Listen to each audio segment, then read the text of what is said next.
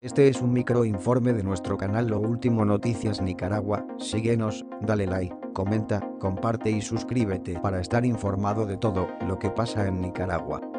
Bueno, yo creo que mm, el papel que ha adoptado la comunidad internacional y especialmente la Unión Europea en el no reconocimiento del resultado de esta farsa electoral de Ortega ha tenido un resultado importante.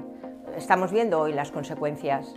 posiblemente en esta toma de posesión de, dictador, que, es lo que es Ortega, eh, esté acompañado por eh, un jefe de Estado de América Latina, por Maduro, por, un, eh, por Díaz Canel en Cuba, ni tan siquiera eso está asegurado, pero estos son sus acompañantes en esta toma de posesión. Estará también China, Rusia, Bielorrusia, no sabemos a qué nivel estarán representadas estas eh, dictaduras y autocracias en eh, esta toma de posesión de hoy de Ortega. Por lo tanto, creo que el trabajo, el posicionamiento claro, la denuncia clara de eh, la situación que se está viviendo en Nicaragua ah, por parte de la Unión Europea es el camino a seguir en el futuro. Espero que se concreten las sanciones a Daniel Ortega lo antes posible. Como sabe, desde el Parlamento Europeo llevamos muchos meses trabajando, insistiendo en que tenemos que incrementar las sanciones individuales y personales tanto a Daniel Ortega como a altos funcionarios de su régimen, a Rosario Murillo, a sus hijos, eh, que conforman un, entramado familiar eh, que está realmente extrayendo los recursos del país en beneficio propio. El régimen de Ortega y Murillo, esta dictadura, como muchas otras, sustentan sus pilares en la corrupción del régimen.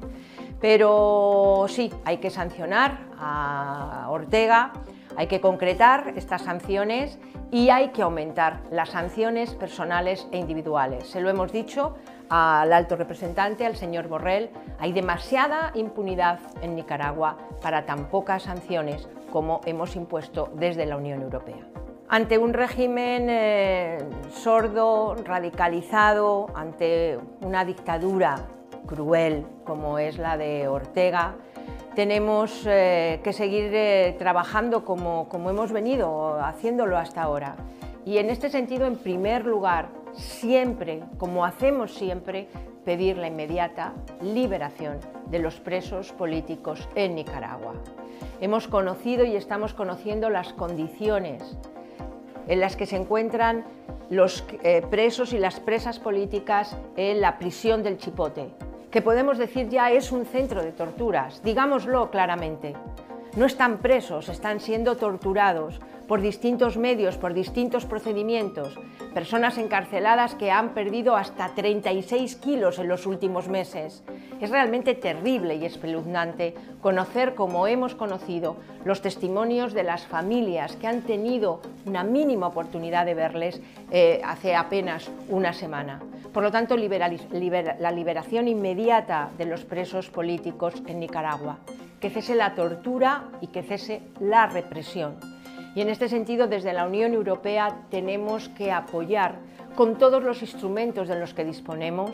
a los presos políticos, a sus familias, a las más de 300 familias que todavía hoy siguen pidiendo justicia frente a la impunidad de los asesinatos del pasado 2018 tenemos, por lo tanto, que estar cerca con atención consular, con eh, eh, atención a las necesidades que, que tienen aquellas personas que se están jugando la vida hoy en Nicaragua por defender la democracia y la libertad. Incrementar las sanciones individuales al régimen, luchar contra la corrupción de este régimen,